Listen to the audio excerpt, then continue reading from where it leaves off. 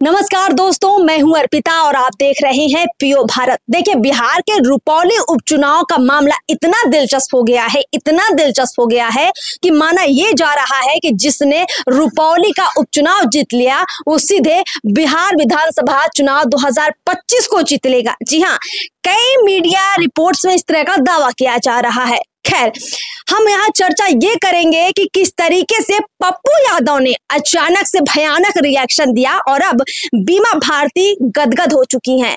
माना यह जा रहा है कि बीमा भारती पप्पू यादव के समर्थन के बाद रुपौली का उपचुनाव जीत रही हैं। जी हाँ अभी तक जो मुस्लिम और यादव वोटर पप्पू यादव की वजह से बीमा भारती से भयंकर भयंकर वाला नाराज़ था, वो अब बीमा भारती के साथ खड़ा हो गया है।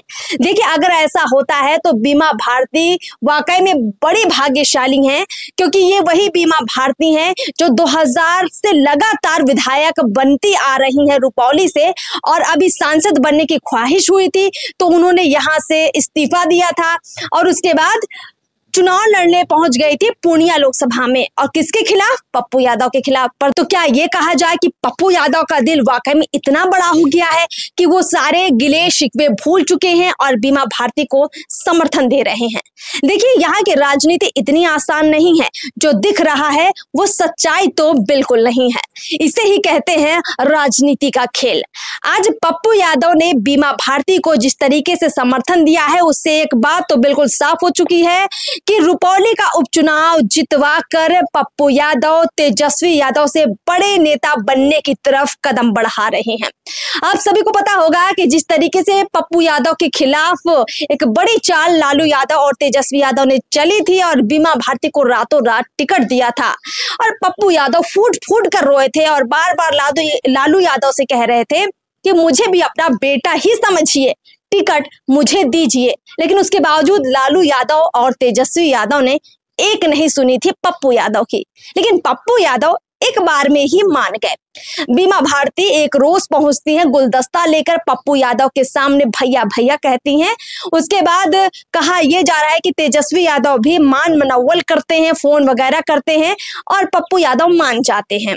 तो पहली तस्वीर में यह दिख रहा है कि पप्पू यादव मान चुके हैं तेजस्वी यादव से।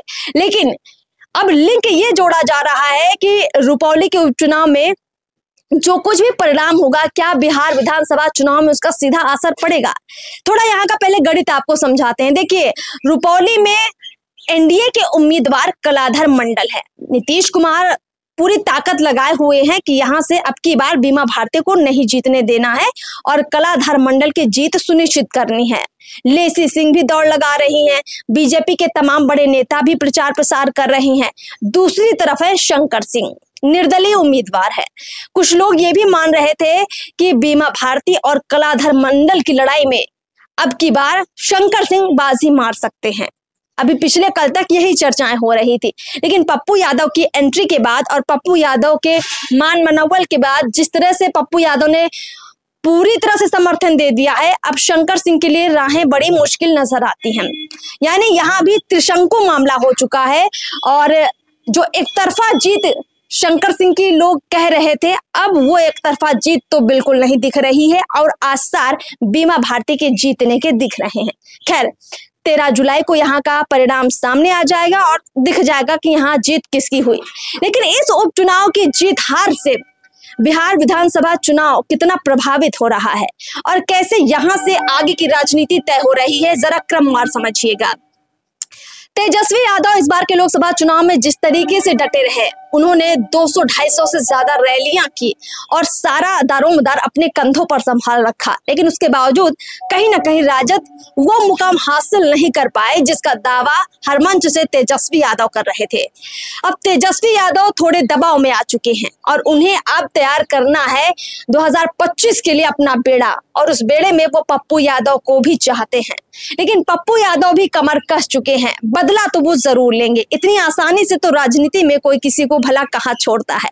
अगर पप्पू यादव माने हैं तो निश्चित रूप से उनके दिमाग में बहुत बड़ा खेल चल रहा है।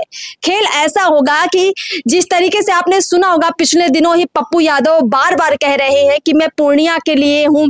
और ना सिर्फ़ पूर्णिया, बल्कि जो सीमांचल के चार ज़िले हैं, पप्पू यादव वहाँ एक अपना अलग प्रभाव छोड़ना चाहते हैं। यानी हो ना हो, राजद से आने वाले समय में सीमांचल की ज़्यादा से ज़्यादा सीटें कांग्रेस को दिलवानी होंगी तो आगे पप्पू यादव ही आएँगे।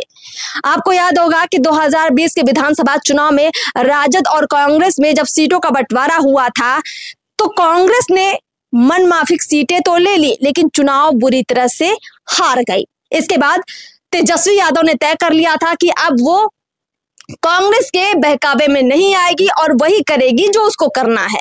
लेकिन देखिए 2024 आते आते चीज़ें फिर से बदल गई। अब तेजस्वी यादव कांग्रेस के आगे भले ना झुके, लेकिन उन्हें पप्पू यादव की बात तो माननी ही पड़ेगी। अब पप्पू यादव भी कांग्रेस के नेता हैं। आज रुपौली के उपचुनाव में पप्पू यादव ने तेजस्वी की बात मान ली है। बीमा भारती को समर्थन दे दिया है। 2025 के बिहार विधानसभा चुनाव में पप्पू यादव तेजस्वी से कांग्रेस के लिए अपनी बात मनवाएँगे। यानी ज़्यादा से ज़्यादा विधानसभा सीटें दिलवाने का काम करेंगे। ये हो गई पहली बात। अब जरा दूसरी बात पर गौर कीजिए। इस बार देखा जा रहा है कि सम्राट चौधरी चिराग पासवान, नीतीश कुमार जैसे बड़े नेता एक साथ हैं। जीतन राम मांझी भी साथ में हैं, उपेंद्र कुशवाहा भी साथ में हैं। और इन लोगों का मुकाबला तेजस्वी यादव अकेले तो नहीं कर पाएँगे। अगर अकेले कर पाते तो 2024 लोकसभा का चुनाव परिणाम कुछ अलग ही होता।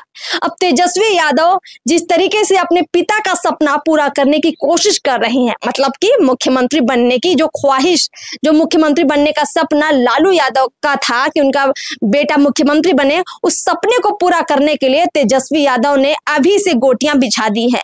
वो पप्पू यादव के सामने इसलिए नहीं झुके हैं क्योंकि उन्हें पप्पू यादव बड़े प्यारे लगने लगे हैं। या पप्पू यादव की बातें उन्हें अच्छी लगने लगी हैं।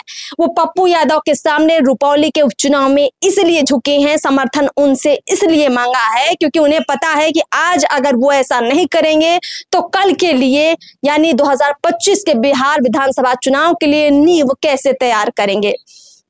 दूसरी तरफ़ आपने देखा होगा कि जितने भी उनके ऐसे विधायक थे जिन जो पाला बदलकर इधर से उधर आते जाते थे, या यूँ कहे कि जिन पर थोड़ा भी डाउट तेजस्वी यादव को था या है, उनको भी चेतावनी तेजस्वी यादव दे चुके हैं।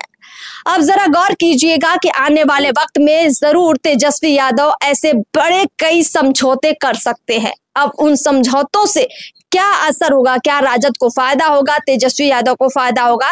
ये बड़ी दिलचस्प बात होगी। लेकिन हमेशा सीधे बाँस की तरह खड़े रहने वाले तेजस्वी यादव में थोड़ा लचीलापन आने लग गया है और उसका पहला नज़ारा बिहार के रुपौली उपचुनाव में दिखने लगा है। अगर कुछ इस तरीके की राजनीति तेजस्वी यादव करते रहेंगे तो निश्चित रूप से 2025 में बड़ा खेल कर सकते हैं, राजद को बड़ी जीत भी दिलवा सकते हैं। चैनल पर खबर देखने के लिए आप सबका बहुत बहुत शुक्रिया। इस वीडियो को खूब शेयर कीजिए, चैनल को भी सब्सक्राइब कीजिए। नमस्कार।